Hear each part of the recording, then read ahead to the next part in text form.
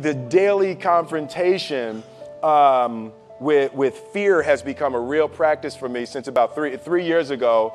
Um, I, went, uh, I went skydiving in Dubai, right? And skydiving, skydiving is a really interesting confront with fear, right?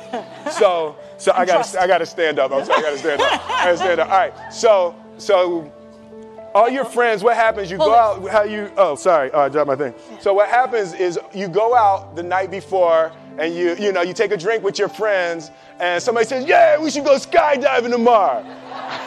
and you go, yeah, we'll go skydiving tomorrow. Yeah, yeah. And you go, yeah. And everybody goes, yeah. Right?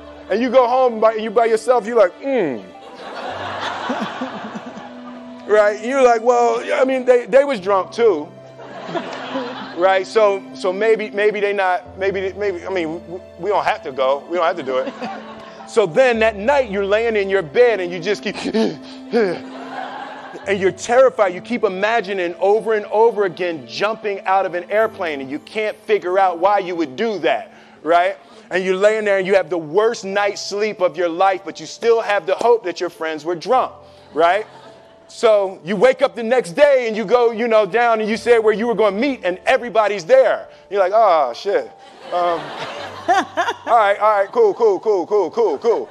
Right? So you get in the van and you don't know that your friends had the same night that you had because they're pretending like they didn't. They're like, yeah, man, my uncle's a Navy SEAL, and you know, this is gonna be great. I've been looking forward to this. And you're like, oh my God, oh my God. And your stomach is terrible. You can't eat and everything, but you don't wanna be the only punk who doesn't jump out of this airplane. So you get there, and then you have this safety brief.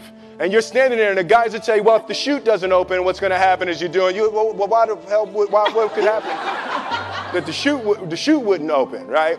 So you do a thing, and what you do is your first jump, you're attached to a guy who is going, you know, he's going to walk you out. So you go, and you get there, and there's an airplane, and nobody's stopping. Everybody's still going.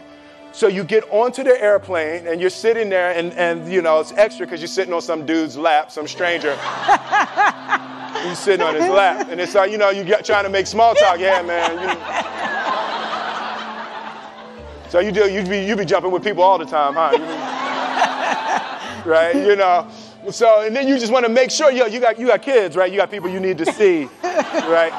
You just want to make sure he's serious, right? So you get in there. So everything's normal. So you fly and you go up, you go up, you go up, you go up to 14,000 feet, and you notice there's a, a, a light. It's red, and it's yellow and green, right? So right now the light's red. So then you start thinking at some point the light's going to go green, but you don't know what's going to happen, right? And you wait and it goes yellow and the light goes green and somebody opens the door and in that moment you realize you've never been in a freaking airplane with the door open.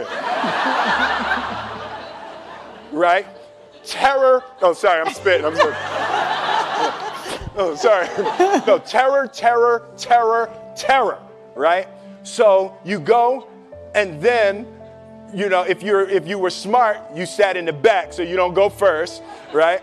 And then people start going out of the airplane, and you go, and the guy walks you up to the end of the thing, and you're standing, and your toes are on the edge, and you're looking out down to death. and they say, on three. And they say, one, Two, and he pushes you on two because people grab on three, right? right? And you go,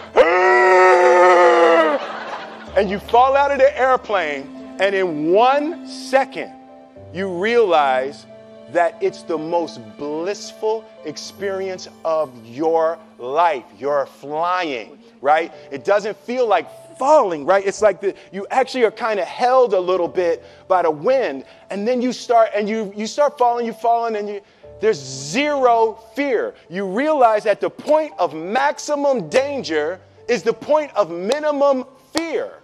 It's bliss. It's bliss. And you're flying. right? And you're doing that. And then 20 seconds, 25 seconds, 40 seconds, and you have enough time to just kind of be like, oh, shit, that's that building. I saw like that one. oh, you can see the ocean. right? You start doing all of that. And the, the lesson for me was why were you scared in your bed the night before? Why did you, what do you need that fear for? Just don't go. Why are you scared in your bed 16 hours before you jump? Why are you scared in the car? Why could you not enjoy breakfast? What, what, what, what did you need that? The fear is fear of what? You're nowhere even near the airplane. Everything up to the stepping out, there's actually no reason to be scared. It only just ruins your day.